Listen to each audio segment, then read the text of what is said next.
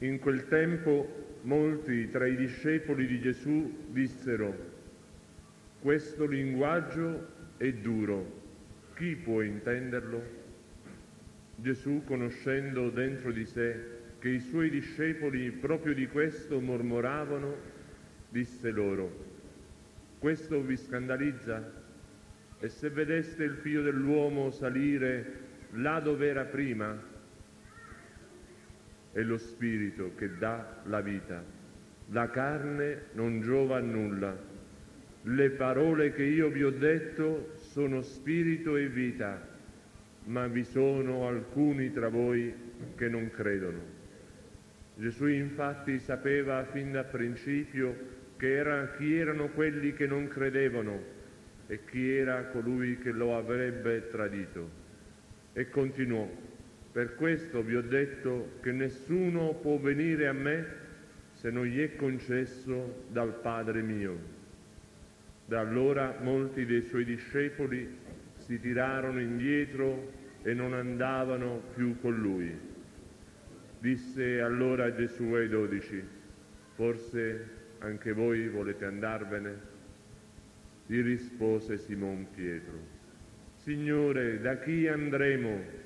Tu hai parole di vita eterna.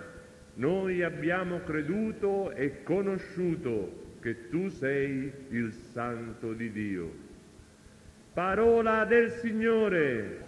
La liturgia di oggi ci mette di fronte a due miracoli operati qui a Giaffa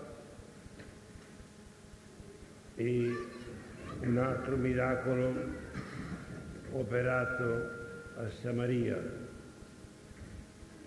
un miracolo di Enea che da otto anni giaceva a Lidda sul lettuccio ed era paralitico. Pietro gli disse, Enea, Gesù Cristo ti guarisce, alzati, ripatti il letto e subito lo si alzò. Di fronte al miracolo, gli abitanti di Ridda si convertirono al Signore la conversione è legata al miracolo, cioè la fede di queste persone incredule scatta di fronte al miracolo. È il miracolo che parla e gli abitanti di Rida, di Rida assentiscono alla parola che esce dal miracolo, si convertono a Dio. A Giaffa c'è un'altra donna, Tarita, Gazella.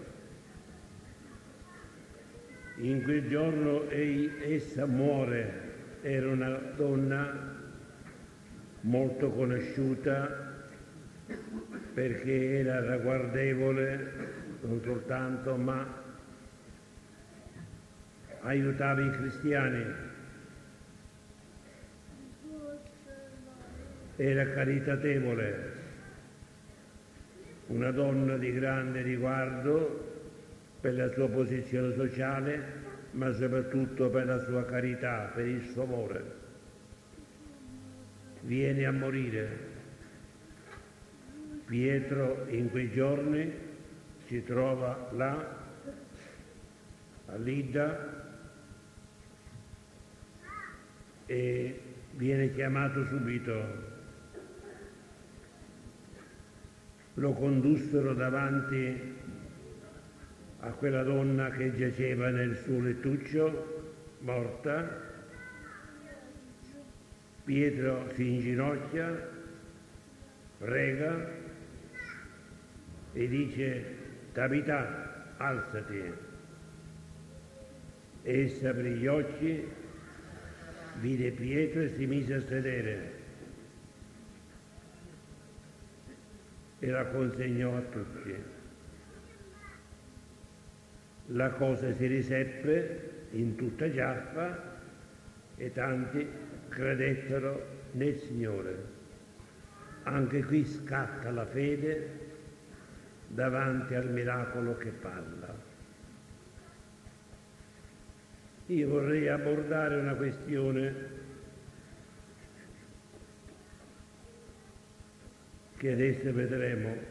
Andiamo al Vangelo. Gesù parla e le parole che lui pronuncia suscitano la fede, ma non in tutti. Vi sono alcuni tra voi che non credono, tra questi c'era Giuda. Gesù si presenta con la sua vita. La vita di Gesù parla. Molti credono a Gesù che si presenta con la sua vita di figlio di Dio. Perciò noi abbiamo tre fonti da cui procede la fede. È chiaro che è la fede a fondamento della nostra vita cristiana ma questa fede procede da tre fonti. La fede è assenso alla parola di Dio,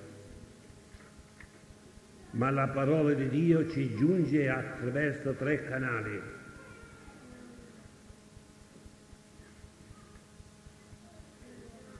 Il canale della parola, da barro, il canale di un patto divino che ha lo stesso termine, Dabar, il canale della vita che parla senza equivoci, per cui la fede procede ugualmente dalla parola, dal miracolo, dalla vita. Non è esatto dire che la nostra fede si fonda sulla parola, per cui i miracoli non contano, per cui la vita non conta. È vero che la fede si fonda sulla parola di Dio ma è altrettanto vero che la parola di Dio non è soltanto la parola che suona, ma è l'opera di Dio che è parola, è la vita di Dio vivente in una persona che è parola. Per cui è ugualmente la fede che si fonda sulla parola si fonda sulle parole pronunciate, sui miracoli e sulla vita. Questo lo diciamo perché possiamo cadere in un equivoco, quasi che i miracoli che succedono sono a discapito della fede, la quale si fonda sulla parola. Noi sosteniamo che i miracoli sono parole di Dio. Il termine ebraico da bar indica sia parola sia fatto, perché Dio, come parla con la parola, così parla con i fatti. E la fede ha senso a Dio che parla. Questa è la fede. Poco importa se Dio ci parla attraverso la parola, da bar, o ci parla attraverso un'opera da bar. Così anche la vita di Cristo è da bar, cioè Cristo manifesta con la sua vita che è figlio di Dio. Se non volete credere alle mie parole, credete alla mia vita, alle mie parole, alle mie opere, a come io dico e come io faccio.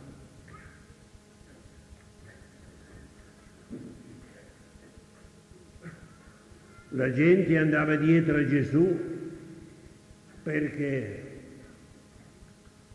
non tanto per ascoltare la sua parola, quanto perché vedeva i segni che egli faceva. E quando egli faceva un segno, dice la scrittura, credettero in lui, vedendo il segno, cioè il segno, l'opera e il miracolo, era una parola più viva più accessibile che la stessa parola. E scaturiva la fede dall'opera, dal miracolo, più che dalla parola, perché il miracolo è parola di Dio. Quando ci vengono a dire che i miracoli non contano, è un errore sia perché il Signore alla sana predicazione, al cherigma, ha annesso il miracolo, perché Dio parla in due maniere, con la parola dell'Apostolo, del profeta, del sacerdote e parla col miracolo che conferma la parola dà fermezza alla parola, ma anche il miracolo è parola di Dio. Nel Vangelo leggiamo, videro il miracolo e credettero. Quelli che non credevano alla parola credevano al miracolo. Ed è lo stesso Gesù che dice, se non volete credere alle mie parole, Credete alle mie, paro- alle mie opere, perché io faccio le opere di Dio. Il Padre risuscita i morti e anche il Figlio dell'uomo risuscita i morti. Per cui se non volete credere a quello che dico, credete a quello che faccio. Per cui quello che Cristo fa è già locuzione di Dio ed è fondamento della fede. Cristo esige la fede non attraverso la sua parola, ma attraverso le sue opere, attraverso i suoi miracoli. Dunque è vero che il miracolo fonda la fede.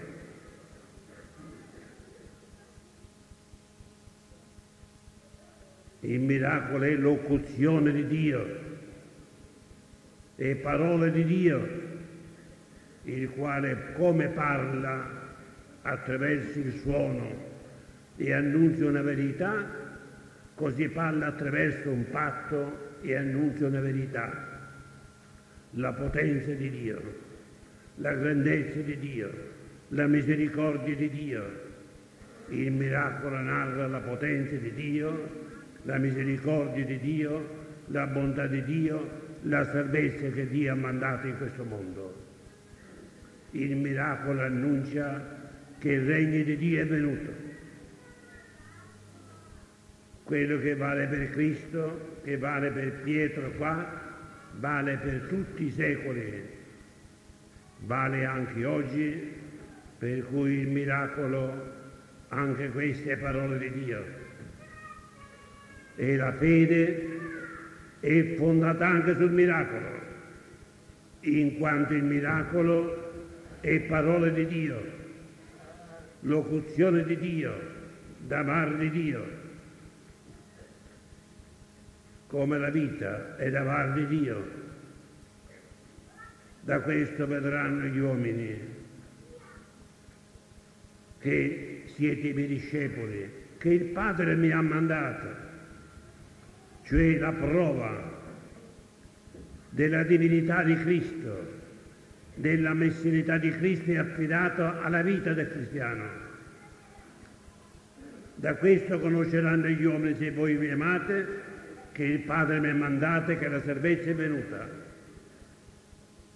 Per cui è fondante anche la vita di amore del cristiano, fondante la fede.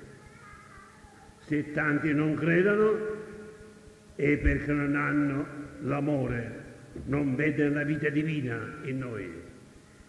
La vita divina in noi è locuzione di Dio, è la bar di Dio. Dunque sono tre i canali attraverso cui Dio ci parla. Ed è vero che la fede è fondata sulla parola, ma la parola non è soltanto la parola pronunciata, ma è parola il miracolo e parola la vita.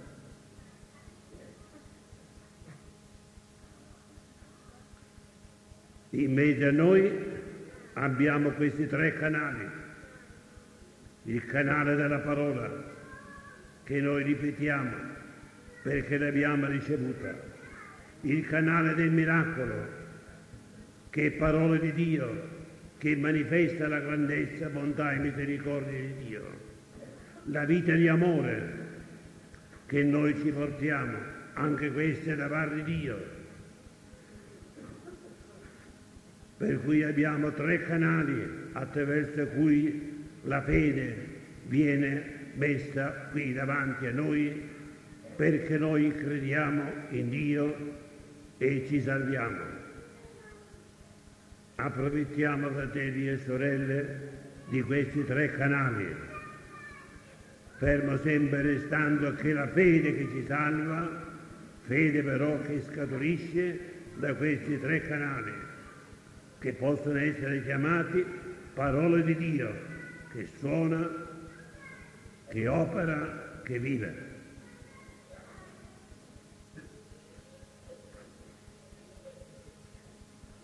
Eppure davanti a questi tre canali noi possiamo non credere per la libertà dell'uomo. C'è sempre un margine a qualunque parola di Dio, a qualunque miracolo di Dio, a qualunque manifestazione di Dio nella vita. È il margine consentito la libertà,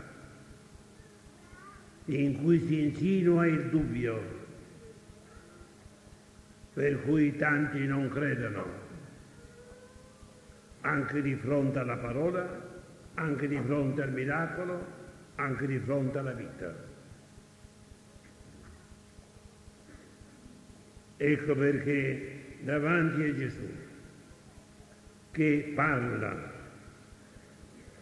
opera prodigi e manifesta una vita divina, tanti per quel margine di libertà che viene lasciato all'uomo, libertà che Dio non mai tocca, non avendo mai la certezza per quel dubbio che si infiltra tra la libertà e la fede, tanti non credono e lo abbiamo nel Vangelo di oggi. Gesù ha parlato un lungo discorso a Caparno. Gesù ha compiuto il miracolo della moltiplicazione dei pani. Miracolo. Secondo locuzione. Gesù ha mostrato una vita divina per la sua sapienza e per la sua potenza. Eppure tanti non credono. Di qui la libertà dell'uomo e il merito dell'uomo e la responsabilità dell'uomo. Uno dei punti difficili ad accettare è l'Eucaristia, perché qui entriamo nel più grande dei misteri. Noi siamo disposti ad accettare tutti i misteri che toccano la ragione, il modo di credere, il modo di pensare e pertanto la fede. E cioè crediamo alla Trinità, siamo disposti a credere alla Trinità anche quando non la comprendiamo. Crediamo cioè in tutti i misteri, ma quando ci troviamo di fronte al mistero dell'Eucaristia, qui abbiamo un punto nevralgico su cui sono caduti tanti attraverso i secoli e in cui caddero proprio i discepoli a Cafarno, i quali in gran parte si allontanarono da Gesù. È un discorso duro perché non possiamo comprendere che l'amore di Dio giunga fino a tanto,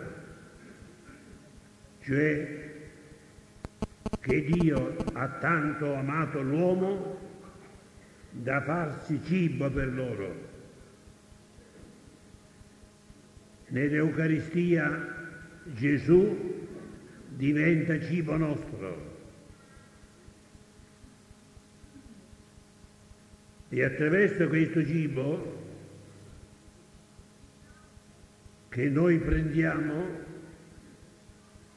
Egli si consuma quasi in noi, perché noi viviamo di Lui.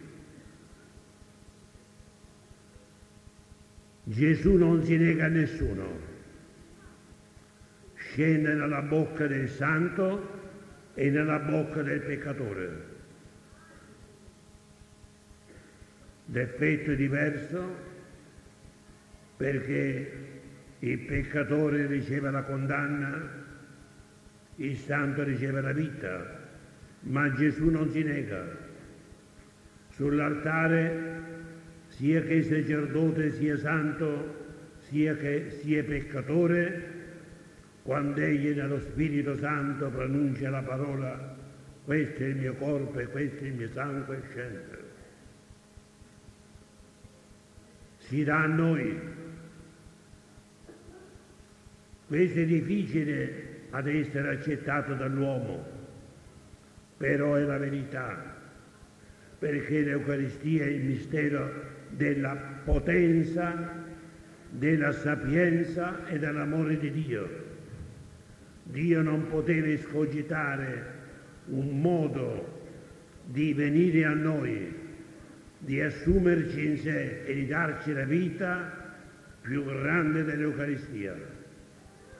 Quasi si esaurisce la potenza divina, la sapienza divina e l'amore divino. Non c'è altra opera che possa meglio manifestare la potenza, la sapienza e l'amore divino quanto l'Eucaristia. Gesù sa che sta compiendo un'opera straordinaria davanti a cui la ragione umana si arresta e la libertà dell'uomo viene messa così a repentaglio. Ma Gesù, per manifestare la potenza dell'amore, la sapienza dell'amore, la forza dell'amore, si dà a noi nell'Eucaristia perché noi viviamo di Lui per depositare dentro di noi il germe della vita eterna. Ci dà il suo corpo risuscitato per depositare in noi la resurrezione e la vita. Chi mangia di me e beve di me avrà la vita eterna. Io lo risusciterò nell'ultimo giorno. Io sono la risurrezione e la vita. Chi mangia di me ha la vita eterna. E nell'Eucaristia, parola incarnata, miracolo di Dio, vita divina in mezzo a noi, che noi abbiamo quel meraviglioso dono di Dio che è la vita eterna, quella partecipazione meravigliosa alla natura divina, alla vita divina che non potrà mai finire. Ringraziamo il Signore di questo grande dono. Molti non credettero e si allontanarono, ma Gesù tiene sempre fermo. Dice agli Apostoli, volete andarvene anche voi? Ma questo è il segno del mio amore. Volete andarvene anche voi? E Pietro dice, no Signore, tu solo hai parole di vita eterna. Di chi andremo Signore? Tu solo hai la parola della vita. Ma c'era là uno che non credeva. Stava con Gesù. Da un anno era con Gesù. Ma dopo un anno, nonostante le parole, nonostante i miracoli, nonostante la vita del Salvatore, non credeva ed era Giuda. Aveva perduto la fede due anni prima di tradirlo e lo annota Giovanni. Ossia la fede non obbliga l'uomo a cedere perché Dio rispetta la libertà, ma beato colui che cede all'invito di Dio, che parla attraverso la parola attraverso il miracolo, attraverso la vita. E beati noi, fratelli e sorelle, associati a Cristo e fatti Cristo, beati noi se propagandiamo la fede attraverso questi tre canali. Perché noi credenti, uniti a Cristo, noi che siamo il Cristo vivente, che continua la sua missione salvatrice nel mondo, dobbiamo diffondere la fede attraverso la parola, attraverso il miracolo, attraverso la vita di amore. Ecco la nostra missione. E allora noi parliamo di Dio. Noi nel nome di Dio operiamo meraviglie noi nel nome di Dio viviamo la vita di amore. Lasciamoci vivere dallo Spirito Santo. È Lui che continua in noi l'opera di Cristo. È Lui che manifesta il Cristo in noi, il Cristo che parla, il Cristo che guarisce, il Cristo che vive la vita del Padre. Grazie Signore perché noi siamo già risuscitati. Amen. Noi già siamo scesi al cielo e sediamo alla tua destra. Questo noi lo crediamo dalla fede. Ancora non lo vediamo, non lo constatiamo, ma già l'opera tua è compiuta. Attendiamo di constatare a suo tempo quelle che già tu hai operato, la nostra resurrezione nell'anima e nel corpo e la nostra ascensione al cielo, noi che sediamo con te alla destra del Padre. Signore, questa fede che ci sostiene, ormai apparteniamo a te, sia che viviamo, sia che moriamo, siamo tuoi, perché tu sei il Signore dei vivi e dei morti. La morte non ha più senso per noi, perché chi muore, muore nel Signore, come chi vive, vive nel Signore. E Lui il capo. E noi congiunti al capo siamo dei viventi, sia vivi sia morti, perché Egli è il capo dei vivi e dei morti. O Signore, ti ringraziamo di questo grande dono che tu date agli uomini, la vita, la vita eterna. Amen.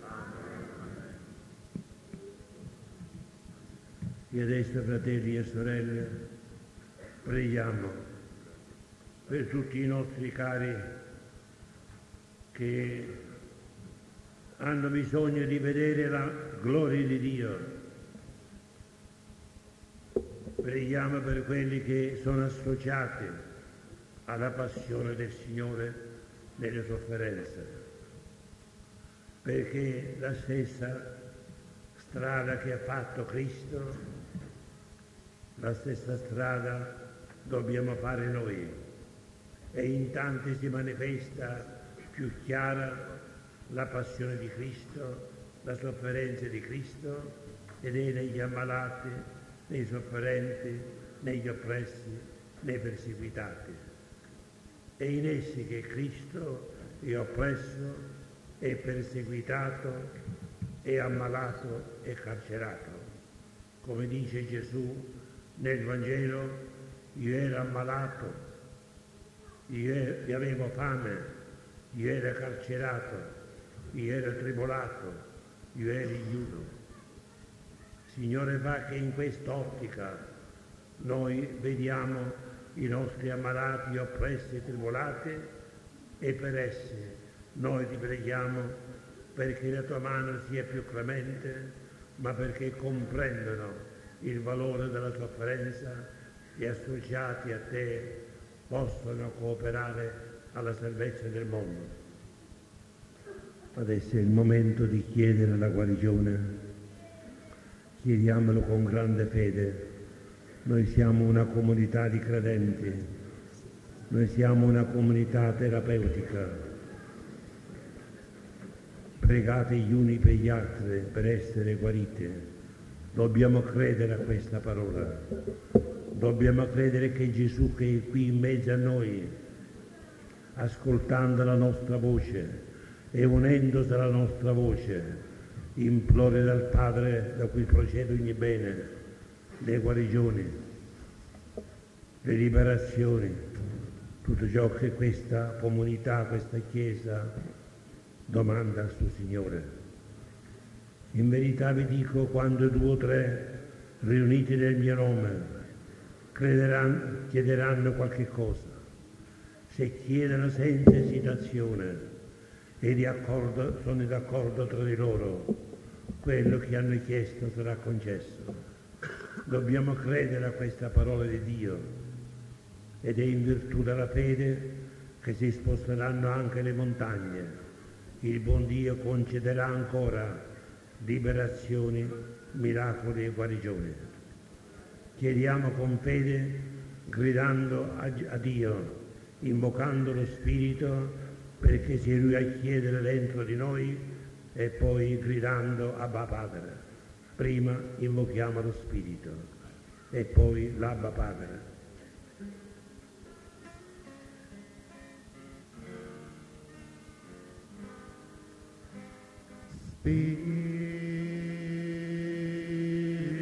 Spirito. Prendiamoci per mano. Di,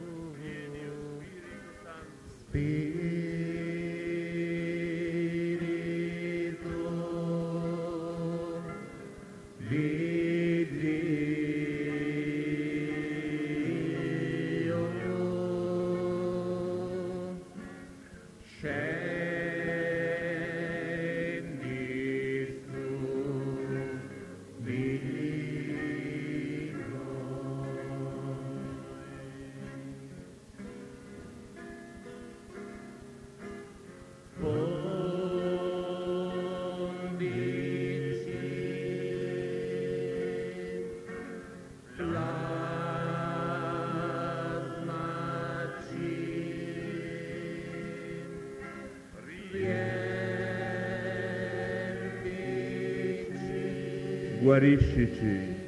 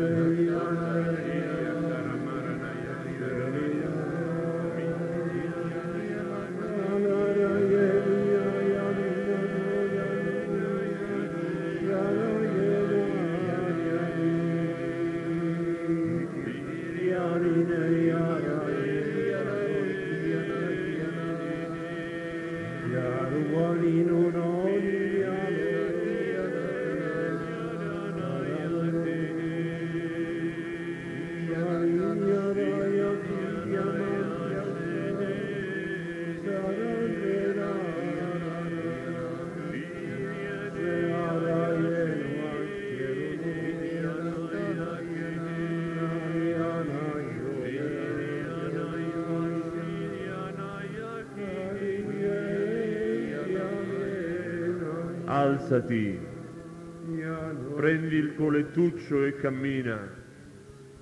Io credo, Signore, che tu quest'oggi dici al mio cuore, alzati, prendi la tua malattia, prendi il tuo peccato e offrimelo e cammina.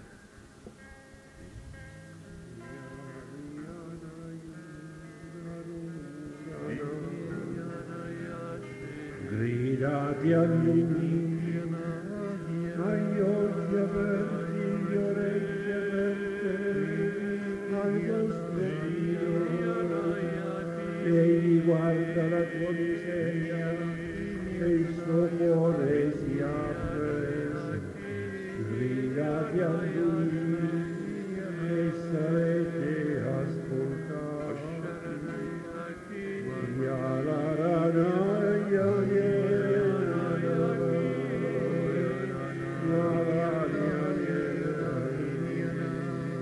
Manifestati in mezzo a noi, Signore, con la tua potenza.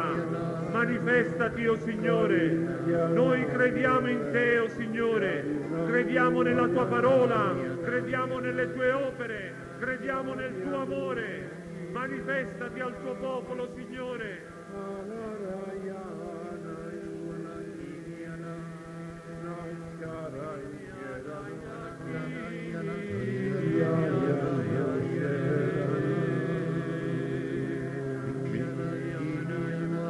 Vedete vi sarà dato, bussate vi sarà aperto, insistete ancora, non date riposo al vostro Dio. Loro hanno il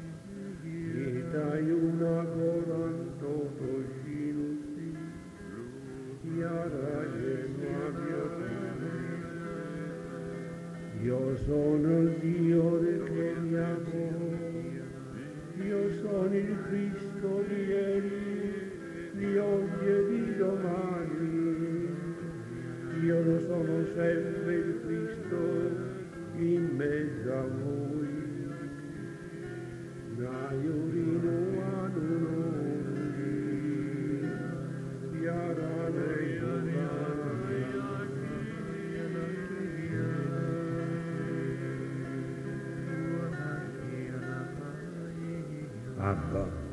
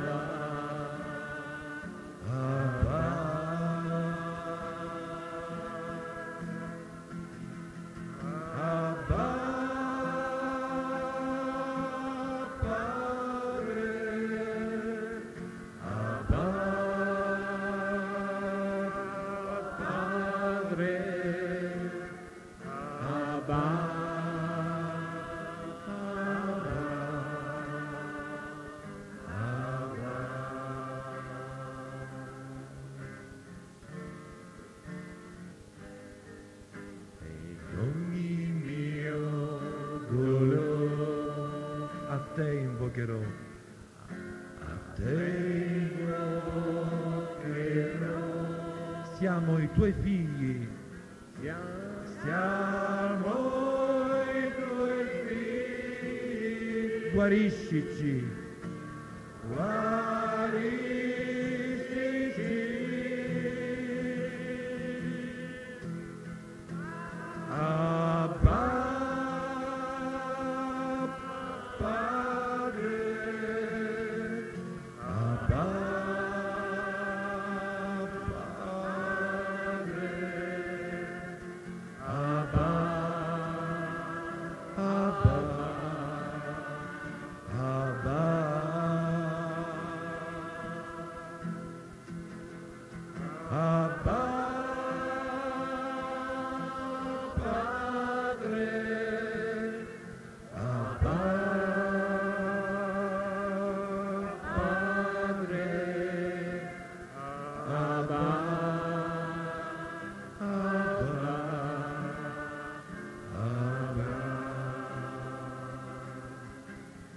Grazie a te, oh Signore. Grazie, Signore.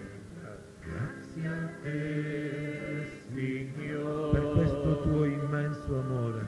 Per questo immenso amore. Siamo i tuoi figli.